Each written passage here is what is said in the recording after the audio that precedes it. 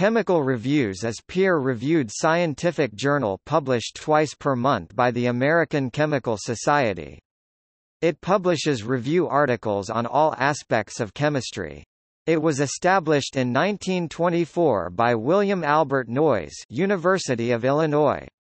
As of 1 January 2015 the editor-in-chief is Sharon Hammes-Schiffer.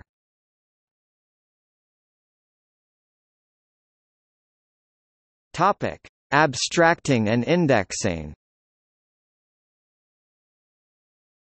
The journal is abstracted and indexed in Chemical Abstracts Service, CAB International, EBSCOhost, ProQuest, PubMed, Scopus, and the Science Citation Index.